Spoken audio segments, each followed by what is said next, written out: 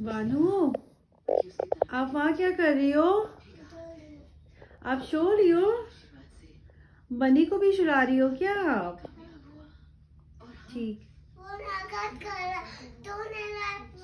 हाँ। नाटक कर रहा है सो नहीं रहा है? इसको नींदू नहीं आ रही है बनी को? अच्छा पीट पीट के सुला दो।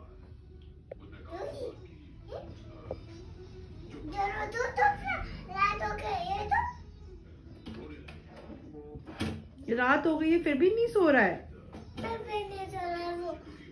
टानी कर रहा है?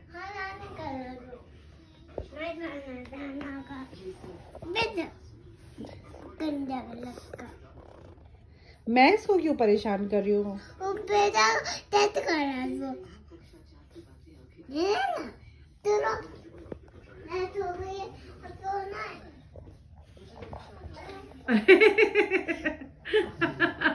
मम्मा गिर गई।